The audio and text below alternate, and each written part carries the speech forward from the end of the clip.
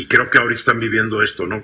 Con Sí, estos es personajes bien interesantes como esta Alexia, ¿cómo se llama? Alexandra. Eh, Ocasio- Ocasio Ocasio Cortés. Que qué lista es, eh? Pues es contemporánea tuya. Ya sé, no ¿Y es, lo ¿Es tu máximo. cuaderna o no? Y, eh, sí, la conozco y la conozco muy bien. De hecho, estuve, la acompañé en varios de sus eventos de campaña Qué en lista Nueva es, York. ¿eh? Muy lista. Aparte con este nuevo tratado que quiere hacer que se llama el, el Green New Deal, que es para eh, fortalecer el tema ambiental. Ahí está la diferencia. La nueva generación viene con toda Sí. esta agenda Sí. y pues ahí está Bernie Sanders y está Biden, Warren. que se quedaron en los 80s. Elizabeth Warren, todos están en los 80, los Pero 90. Beto O'Rourke ya se lanzó. ¿Pero qué es Beto O'Rourke, Ay, déjame, es mi amigo y es lo máximo. Pues sí, pero no tiene la menor oportunidad, tú lo sabes. Yo creo que va a ser Joe Biden. Todavía no se, se todavía no se declara su candidatura. Pero, pero leí un artículo muy interesante del New York Times el otro día, Ajá. que si Joe Biden es el candidato es muy difícil que gane porque no va a poder unificar el Partido Demócrata. Entre todos estos chavos así como Lila,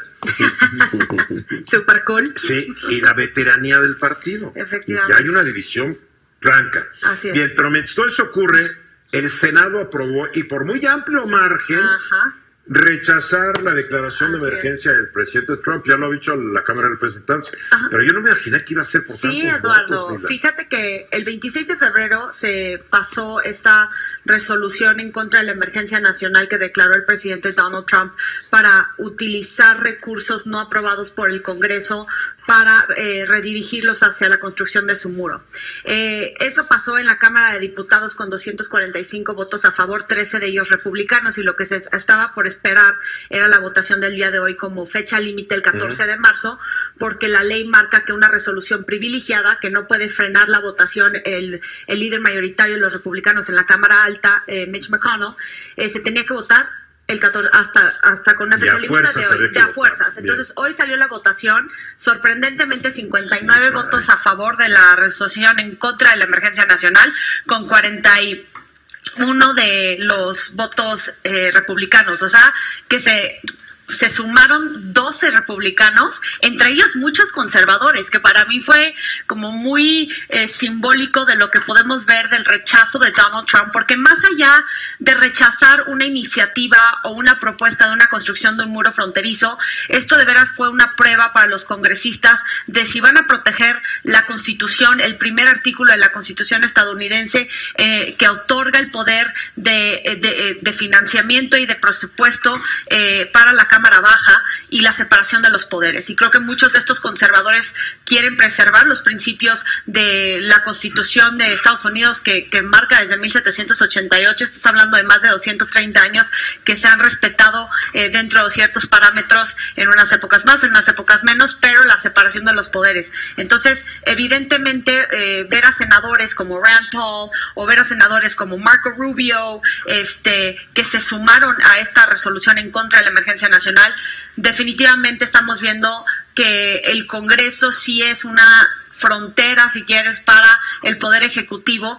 Y también es interesante porque, aparte de que rechazan esta iniciativa, esta eh, declaración de una emergencia nacional de- del Poder Ejecutivo, el día de ayer, Eduardo, también le quitaron el financiamiento y el apoyo a los a Arabia Saudita en sus esfuerzos contra la guerra que tienen Sí, en pero es Yemen. que, es que condenan la violación de derechos humanos en Exacto, Venezuela, exacto. pero no la condenan en Israel o en Arabia Saudita. Porque si tú criticas al gobierno de Israel en Estados Unidos, No, es un tema. eres antisemita. Sí. No, tú puedes criticar al gobierno del gángster de Netanyahu. Que está metido en 20 millones de corrupción, corrupción. su esposa, etcétera, etcétera, y porque Netanyahu ha caído en la trampa de los, de los partidos más archi ultra conservadores, casi creando un estado religioso en Israel. Y, y hay que ser hay que ser muy puntuales también porque el tema de que se hayan metido Donald Trump y Mike Pompeo a este tema de Venezuela es justamente porque lo quieren usar para eh, para fines electorales. Claro. Finalmente ellos No dicen, van a "Mira, invadir jamás a exacto, Venezuela". no vamos a y lo dijo en su estado de la Unión eh, en su informe eh, en enero dijo no vamos a permitir que Estados Unidos se convierta en un país socialista y si llegan los demócratas vamos a tener una Venezuela No, porque no, son socialistas. Aquí también ¿Sí dicen lo mismo, sí, Obrador, lo cual no estoy de acuerdo. Exacto. O sea, yo no creo que México va hacia, hacia el esquema venezolano, ni a trancazos. Porque los populismos, hay muchos populismos. Sí, ¿no? sí, de derecha y de izquierda. El populismo de claro. Trump. Y entonces, es, es, es, nada más es muy interesante porque ahora que ya pasó en el Senado, se va a, a la iniciativa al, presidente y va a ser su primer, bueno, se prevé que va a ser el primer veto Ahora, presidencial. ¿qué tal si lo veta y de 12 republicanos en el Senado se va para arriba?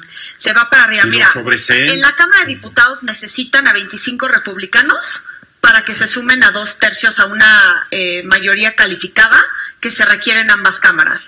En el Senado necesitarían únicamente ocho votos más de los que se consiguieron en este en esta votación del día de hoy Para que para, que, para revertir el veto presidencial. Entonces tampoco está Porque lo odian. porque lo odian. Los que- republicanos lo Sí, odian. pero tiene una aprobación muy alta Sí, dentro de se robó el partido. Exactamente, se robó el Ahora, No es culpa de los republicano. republicanos también. O sea, es culpa de los republicanos Pero es también. que tampoco había candidatos. No, no había. Mi mamá les no, bueno, sí hubieron, sí hubieron, o sea, hubieron Les una... unos apodazos eso exactamente es lo que te Marco, ¿no? Y digo. todo eso. Y, y- Sí, ¿no? y ahora, siendo tan apodable Donald Trump, nunca he entendido por qué no lo han podido apodar que...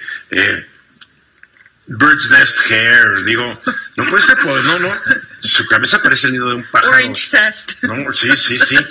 sí. No, no, entiendo, naranja. no entiendo por qué no lo pueden apodar. Exacto. Bueno, lo que pasa es que él sí. tiene control. Mira, yo sí algo le reconozco a Andrés Manuel López Obrador es su, man- su estrategia de comunicación. Si Hombre. quieres, se apodera de todos los medios de manera diaria. También Donald creo que Trump. este programa ya no es en la mañana, sino pues Sí, que Se te acaba. bueno, Donald Trump con su cuenta de Twitter, todo el Arrasa. tiempo, a todo momento, está él poniendo sobre la mesa el debate de lo que se va a llevar a cabo ese mismo día, Él ¿no? impone la agenda. Eh, exactamente, él Igual marca la que, agenda igual que el presidente López Obrador. Sí, entonces, exacto. Entonces, en este esfuerzo, fíjate, el día de ayer en la noche llegaron tres senadores, entre ellos Lindsey Graham eh, de Carolina del Sur y Ted Cruz de Texas. Of all people. Ajá, y llegaron a interrumpir una cena que tenía Donald Trump con Melania. Y les se sentaron ¿Y a la decirles cena? en, en la Casa Blanca.